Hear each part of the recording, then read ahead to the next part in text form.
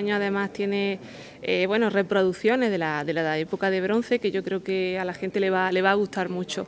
Hay minerales de, muchísimas partes del mundo, con lo cual creo que va a ser una exposición muy interesante y invito a la gente a que asista. Estaremos aquí desde el día desde hoy, 27, hasta el día 1, de 10 a 1 y media con lo cual pues animamos a la gente a que venga, a que descubra eh, esta exposición que a pesar de, hacerse todos los años, pues el colectivo todos los años intenta meter elementos nuevos que, hagan que todo el mundo pueda, pueda asistir y a todo el mundo le pueda interesar, desde los más pequeños hasta los más grandes. Así que os animamos a que, a que vengáis. Ya os dejo con, Julio que os va a hacer una pequeña explicación.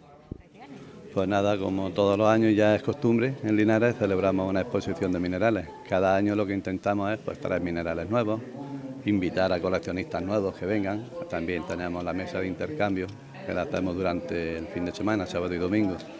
Vienen de toda España y algunos extranjeros vienen a, exponer sus minerales y a intercambiarlos aquí en Linares. Este año la exposición pues tiene un punto especial sobre el tema del primer poblado aquí en la zona del coto minero Linares La Calorina, el primer poblado de la época del bronce, que, está en, es Peñalosa, está en Baño. Y tenemos unas réplicas bastante, bastante muy buenas, perfectas diría yo, hechas por el compañero Juan Antonio Pérez Meca, un señor que se dedica a trabajar a los museos y a hacer réplicas de, esas piezas que salen en la geología, bueno, hablando de los arqueólogos.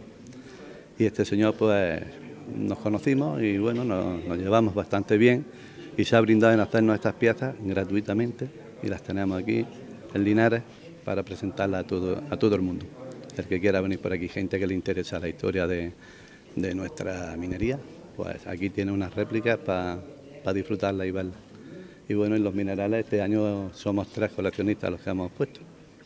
En realidad somos cinco, pero este año dos de ellos pues no han podido, pero siguen estando con nosotros. ¿no? Y tenemos a Pedro Núñez, Mari Santos que está aquí, compañera, y las mías, Julio Lardín. Luego está Gravier Muñoz y Antonio Tevez.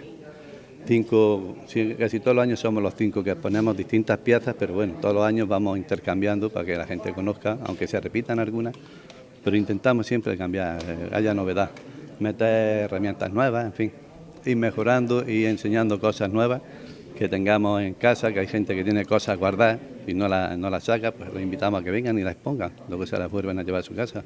Y desde aquí hace un llamamiento a todo el mundo, que el que quiera colaborar con el ayuntamiento y con este museo, pues que tiene las puertas abiertas para traer lo que quieran.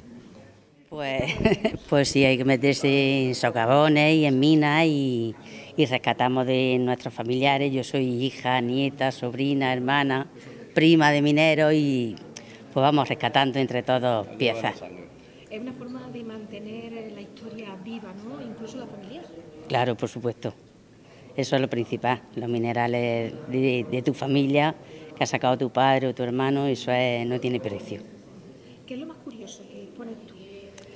Pues hay minerales de Linares y minerales de otras partes del mundo, hay de China, de España tenemos el yacimiento de Navanjún, que da las piritas en forma de cubo, pues las mejores del mundo.